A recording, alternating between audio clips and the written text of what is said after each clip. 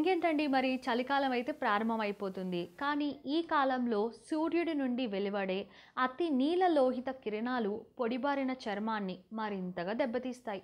మరి ఈ పొడిబారిన చర్మాన్ని మనం స్మూత్గా మృదువుగా కాంతివంతంగా మార్చాలంటే కనుక కొంచెం కష్టమే కదా? కానీ అది ఎలాగో ఇప్పుడు చూద్దాం. సో చలికాలంలో కొందరికి నోటికి ఇరువైపులా చర్మం పగిలిపోయి పాపం చాలా ఇబ్బంది పడుతూ ఉంటారండి. అలాంటి వారు కనుక ఉదయం సాయంత్రం వేళల్లో వెన్న కానీ నెయ్యి కానీ చర్మానికి రాసుకుంటే అంటే మనకి ఏది విలువ ఏది మనకి అందుబాటులో ఉంటే అది రాసుకుంటే కనుక ఈ పగుళ్ళు అనేవి తగ్గుతాయి. అలానే చలి ఎక్కువగా ఉందని ఎండలో కూర్చుంటే గనక ఖచ్చితంగా స్కిన్ సమస్యలు వచ్చే ప్రమాదం కూడా చాలా ఎక్కువగా ఉంది. కాబట్టి ఎక్కడికైనా బయటకు వెళ్ళేటప్పుడు ముఖానికి ఒక స్కార్ఫ్ గుడ్డ కట్టుకోవడం అనేది మంచిది. ఎందుకంటే చలి ప్రభావం వలన చర్మం ఈజీగా ముడతలుగా మారుతూ ఉంటుంది. దాంతో పొడిబారిపోతుంది ముఖ్యంగా ఈ కాలంలో సబ్బుతో స్నానం చేస్తే చర్మం ఇంకా పొడిబారిపోతుందండి కాబట్టి మనం దానికి బదులుగా కనుక సున్నిపిండి సీకాయ పొడితో స్నానం చేస్తే కనుక స్కిన్ కూడా స్మూత్గా ఉంటుంది ఆరోగ్యానికి కూడా మంచిది. అలానే రాత్రి వేళల్లో గోరువెచ్చని ఆలివ్ నూనెతో కానీ లేదంటే మనకు అందుబాటులో ఏదైనా కొబ్బరి నూనెతో కానీ అలా కాకుంటే అట్లీస్ట్ గ్లిజరిన్ రోజ్ వాటర్తో కలిపి చేతుల్ని అరచేతుల్ని మర్దన చేసుకుంటే కనుక కొంతవరకు చర్మం పొడిబారకుండా స్మూత్గా ఉంటుందన్నమాట. ఇంకా ముఖ్యంగా చలికాలంలో చిన్నపిల్లలకు వచ్చే అంటువ్యాధులు అలానే అవి రాకుండా తీసుకోవాల్సిన జాగ్రత్తలు చాలా ఇంపార్టెంట్ అండి. మరి అవేంటో ఇప్పుడు నేను ఒకసారి చెప్తాను. సో పిల్లల్లో రోగ నిరోధక శక్తి తక్కువగా ఉండడం వలన వారు త్వరగా వ్యాధులకి గురవుతూ ఉంటారు. సో ముఖ్యంగా చెప్పాలంటే కనుక వర్షాకాలం చలికాలంలో చిన్నపిల్లలకి వ్యాధుల ప్రభావం కాస్త ఎక్కువగానే ఉంటుంది. ఇంకా ఈ గజగజ వణికించే చలికాలంలో పిల్లల్లో వచ్చే వ్యాధులు అలానే ఆ వ్యాధులు రాకుండా తల్లిదండ్రులు ముందుగా ఖచ్చితంగా కొన్ని జాగ్రత్తలు అయితే తీసుకోవాలి. సో ఆ జాగ్రత్తలు ఏంటంటే ఊపిరితిత్తుల్లో ఈజీగా నిమ్ము చేరిపోతుంది. చలికాలంలో జలుబు దగ్గు సో బ్యాక్టీరియా లేదా వైరస్ వలన వ్యాపిస్తూ ఉంటుంది. అది మనందరికీ తెలిసిందే.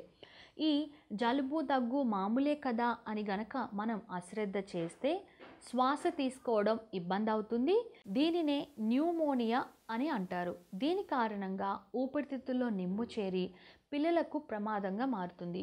ఇలా నిమ్ము చేరడమే కాకుండా ఉండాలంటే కనుక తల్లి బిడ్డకు ఆరు నెలల వరకు పాలిస్తే మంచిది. అంటే ఖచ్చితంగా ప్రతి ఒక్కరు ఇస్తారు.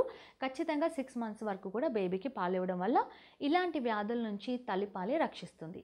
అలానే ఇంకా వచ్చేది ఆస్తమా. సో అపరిశుభ్రత కాలుష్యంలో అలానే పొప్పొడి రేణువుల వలన శ్వాస నాళాల్లోకి అడ్డుపడిపోయి ఊపిరి తీసుకోవడం కష్టంగా ఉంటుంది. ఇలా ఉండే పరిస్థితినే మనం ఆస్తమా అని కూడా అంటాం. సో ఈ ఆస్తమా ఉన్నప్పుడు దగ్గు కూడా చాలా ఎక్కువగా వస్తుంది. మంచు కురుస్తున్నప్పుడు పిల్లలను బయటకు తీసుకెళ్ళకుండా ఉండడం అనేదే మనం చేయాలి. ఇలానే శ్వాసకోశాలకి అడ్డుపడడం వల్ల గుండెపోటు వచ్చే ప్రమాదం కూడా ఉంది.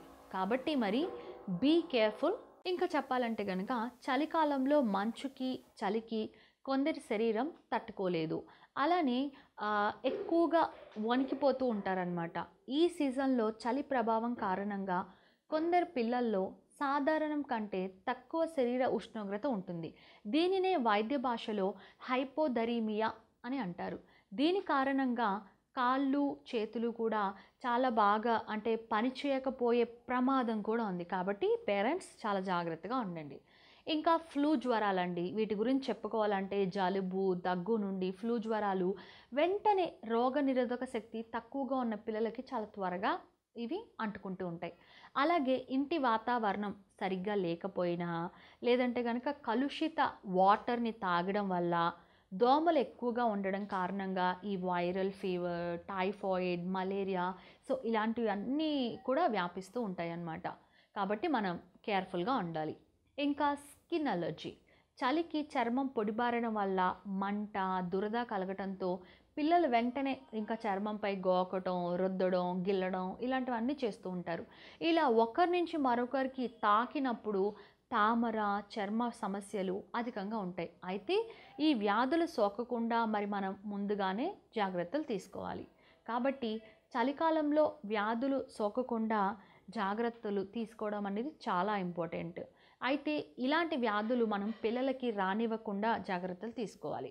ఈ చలి ప్రభావం ఎక్కువగా ఉంటుంది కాబట్టి రాత్రి బయటకు వెళ్ళకుండా అలానే ఉదయం సూర్యుడు వచ్చాక బయటికి వెళ్ళడం అనేది మనం కేర్ఫుల్గా చేస్తే కనుక మంచిది.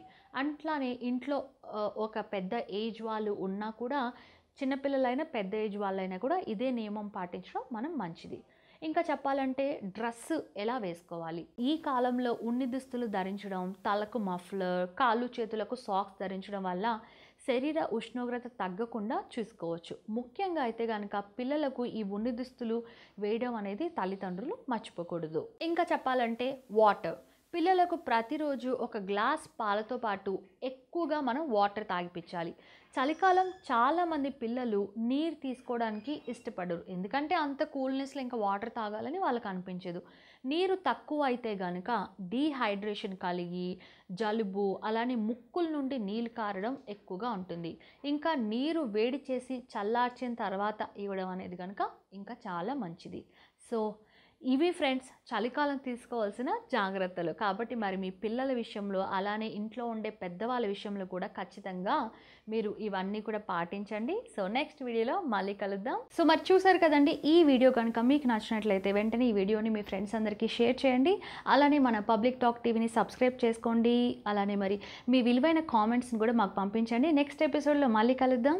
Bye Please subscribe to Public Talk TV. Please subscribe to Public Talk TV. Please subscribe to Public Talk TV. Please subscribe to Public Talk TV.